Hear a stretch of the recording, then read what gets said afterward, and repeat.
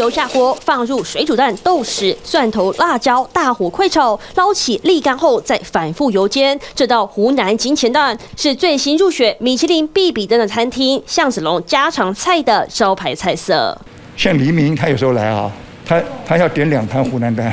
这个店已经开了三十四年了啊，就得到一个这个，就是说，那我的观念，你们至少。我的餐厅的程度啊，应该是有星级的程度嘛。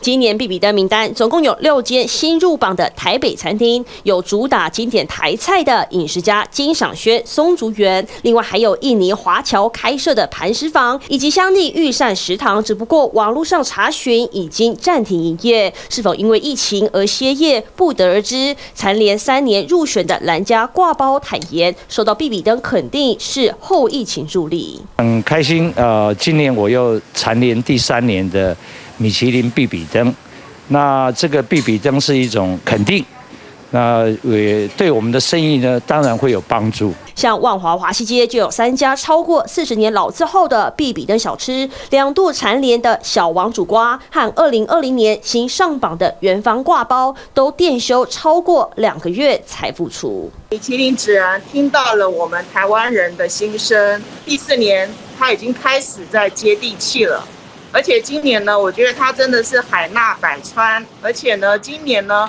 他把台湾的在地食材特别的把它呃烘托出来。米其林必比登这回把台湾历史悠久的老店挖掘出来，店家也希望趁着光环加持，补足疫情时期的损失。TVB 的新闻黄冠伟、李玉涵台北采访报道。请订阅、按赞、分享 TVBS 新闻频道，并开启小铃铛。也请下载 TVBS 新闻 APP，随时掌握国内外大事。